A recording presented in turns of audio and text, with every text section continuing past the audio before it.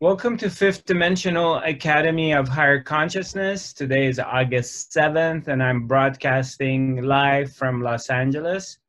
Um, I'm happy to see you all in this very auspicious, beautiful, sunny day from Southern California. So last week, I, if you remember, I asked you, um, I would like you to examine the source of this me, this thought you.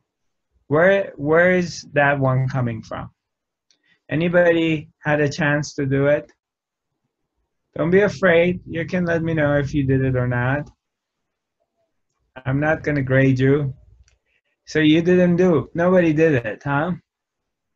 All right let's see. Hi, hi pragya. Hi. Hi. I did it. Oh you did it. Good. You, you your you didn't shake your hand, so I couldn't tell. No, so, I didn't. I didn't. you did or you didn't? You, um, you you were examining the source. Yes, I I was often because um, I use this time to do something what I usually don't like to do at all, my taxes, and uh, it's like every time when they came up, I don't like to do it. Uh, I was just uh, doing my examination, and I have never had so much fun with my taxes so far. So okay, okay. You had never had so much fun with what? With doing with doing my tax collection. Oh, sorry, with doing my tax collection because it's like usually I don't like it, and uh, right. every time when my thought come up about like uh, doing the tax collection and I don't like it was like, okay, who's saying that? Yeah, and how much fun can I have with that? And uh, actually, it's working quite good. So, no complaints. Beautiful. So, you already can see like it gets transformed when you're questioning it, when you're really looking at it, because the mind comes and says, Oh, I'm so bored. I hate doing this as a thought and then when you look at it and examine it and you it disappears. Am i right? Yes. Yeah. And yesterday i had the same thing where i felt like on a certain topic i felt like oh i could jump out of the window right now. Right. and i was like okay question. And then i said who is who is this? Maybe i stay and the one who wants to go out of the window could show out of the window. So it changed yeah, it's so easy. Beautiful. I'm very happy to hear that. Congratulations. Keep doing the work. So, but let's say, uh, and I'm speaking to everybody. Let's say you're very busy, you're being a mom, you're being a dad, you have your work, and you're really engaged with, with whatever you're doing, and you can't do this. But you're gonna have half an hour, an hour couple hours that you have nothing to do. I mean, you will have some time to yourself. I don't care how busy you are as a mom, as a as a husband, wife, parent, you know, child, whatever is your situation, uh, you're gonna have time that you're not you're alone by yourself.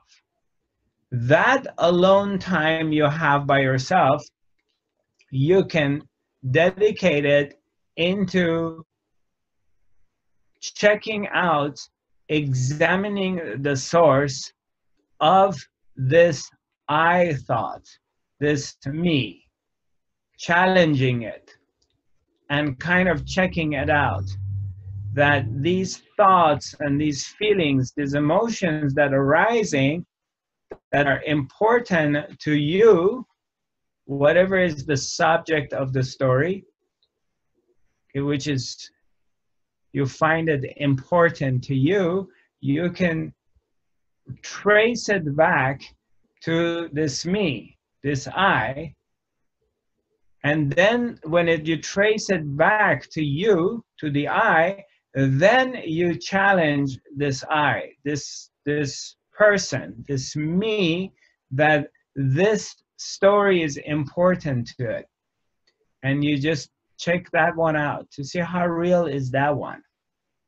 And as Pragna has been doing it, And then all of a sudden, as you do it for a while, and it depends where you're at on your spiritual path. For some people, it may take a little bit longer, and some people may get, get into it quicker. But it doesn't matter. But if you hang in there and you do it regularly, you make a habit of it, then it leads you into this place. It leads you to this place of freedom that every time you discover, you come to this presence, you come to this place. I don't want to say necessarily bliss, but you come to a very quiet, blissful, quiet place that it's very still. We can call it the observer, the witness but it's just you come back to the source of yourself. And it's not even you as what you think you are, it's going beyond the idea of you. You go back to the source of yourself. Where this you comes from, it's pre who you think you are. And then you fall back into this place and there is an instant realization every time you do that of everything is very still everything is quiet and it's very clear that all is very well and there is no involvement with the story. Even if it happens for a couple of seconds you come back to your freedom. And then you're capable of doing the most boring thing that you don't like to do. you know, because this thought that I hate doing this, I hate being here, I don't want to do this, I don't want to do that. It's a thought appearing to another imaginary character that that character is also imaginary, it's not real which I call it you. Who you think, your idea of who you think you are. Because you never examined that. No one has ever told you this. Nobody has told you that examine you. All of your trainings up to this point in your life has been to examine the content of your thoughts. You're challenging, you're examining your thoughts or examining your emotions. Okay? But you haven't examined the person who is experiencing them.